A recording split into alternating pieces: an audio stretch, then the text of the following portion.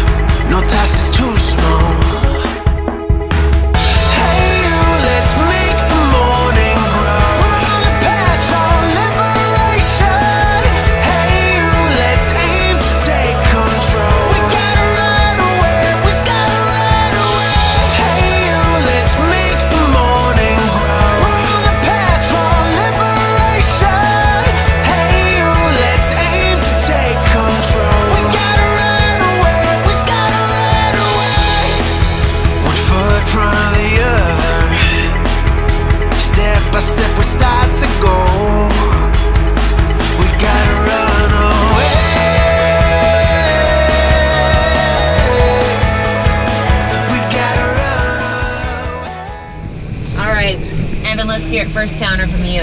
Okay, I'm reporting in here from Stowe Mountain Lodge on somewhere in the second week of March 2017. And we have just checked off the second, the second of the weekend uh, of Jake's bucket list. he was fortunate to get two. The second one was a 10 minute business meeting with his idol, which we organized. His name's Jake Burton. I quickly put together a meeting, set up a little blockade, and they talked for 15 minutes. We have no idea what they said. But Jake came out and said it was one of the best meetings of his life. And that was it. Just like that, he was gone. Now, Evan, uh, rumor is there's some new technology coming out from Burton next season. What, was any of that discussed during the meeting?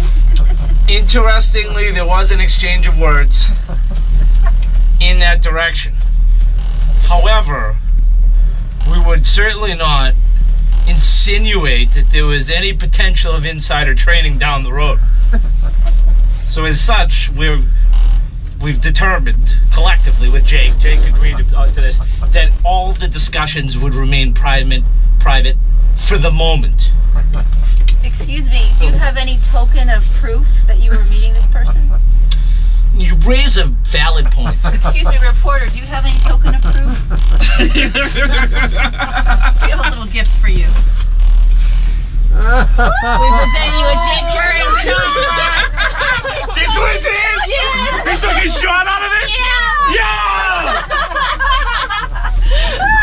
and, and I give it to you. You really just get passed each year. Oh, yeah. Yeah.